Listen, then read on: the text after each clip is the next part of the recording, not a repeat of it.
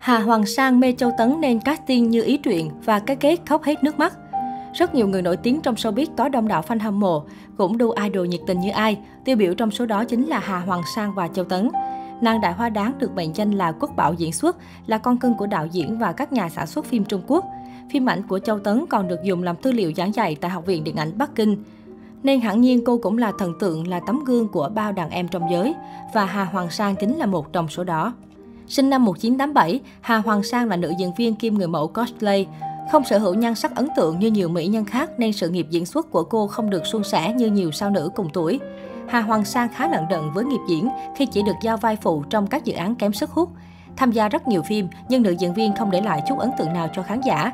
Chỉ đến khi tham gia vào năm tháng vội vã vào năm 2015, tên tuổi Hà Hoàng Sang cũng bắt đầu nổi tiếng. Với lối diễn xuất tự nhiên cùng đôi mắt đượm buồn, người đẹp đã đem đến một phương hồi trong sáng nhưng không kém phần mạnh mẽ. Sau bộ phim này, Hà Hoàng Sang được nhiều đạo diễn, nhà sản xuất để mắt, đồng thời tin tưởng giao nhiều vai diễn quan trọng trong một số dự án điện ảnh và truyền hình. Một số tác phẩm đáng chú ý của Hà Hoàng Sang phải kể đến Tỷ muội Hỷ Lạc Trường An, Phía trên đỉnh mây. Đến hậu cung như ý truyện, Hà Hoàng Sang đã casting vai nhị tâm, người hầu thân cận nhất của Như Ý. Trong một cuộc phỏng vấn, Hà Hoàng Sang thừa nhận vì quá mê Châu Tấn nên mới casting vai này, mong được ở gần thần tượng một chút.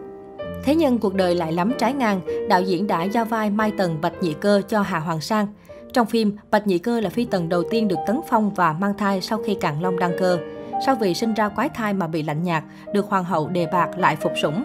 Trong tập 18 của Hậu cung như ý truyện có cảnh Mai Tần vì nghĩ như ý Châu Tấn đóng hại chết con mình nên nhào đến tắt cô một cái.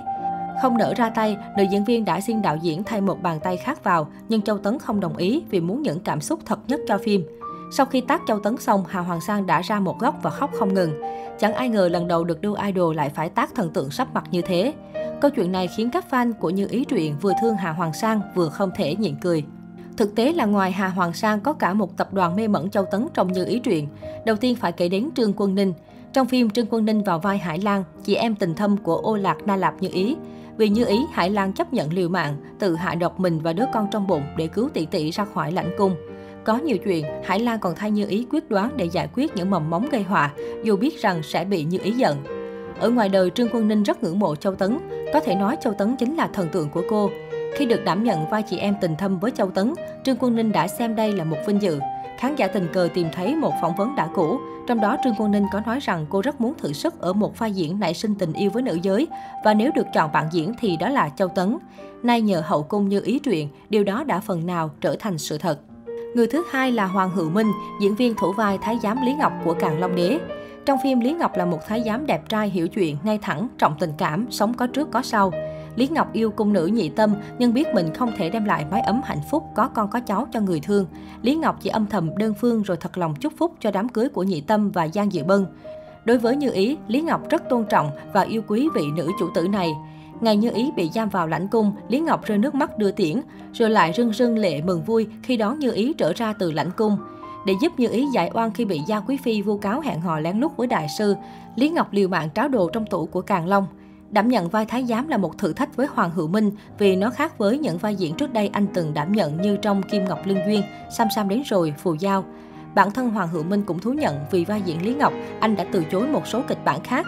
Khi được hỏi lý do nhận vai thái giám, Hoàng Hữu Minh đã trả lời rằng vì Châu Tấn là thần tượng của tôi.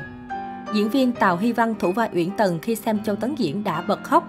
Uyển Tần là một trong những phi tần nhạt nhòa nhất hậu cung như ý truyện vì không tham gia và cũng không bị cuốn vào trận chiến tranh sủng. Uyển Tần ngày ngày ở trong phòng mình vẽ tranh Càng Long, vẽ từ khi hoàng đế còn trẻ cho đến khi đã có râu. Tào Hy Văn rất nể phục tài năng diễn xuất của Châu Tấn. Khi được trực tiếp xem Châu Tấn diễn phân cảnh bị A Nhược bán đứng, đổ tội hãm hại hoàng tự, là con của Bạch Nhị Cơ và Di Quý Nhân, Tào Hy Văn đã hiểu thế nào là thiên tài diễn xuất. Không cần một lời thoại nào, chỉ thông qua ánh mắt, tất cả sự bàng hoàng, đau đớn và cả giận dữ của Như Ý đều được Châu Tấn thể hiện xuất sắc. Khi nhìn thấy Châu Tấn ngấn lệ trong phân cảnh ấy, Tào Hy Văn cũng khóc theo, vì quá xót xa cho nhân vật Như Ý.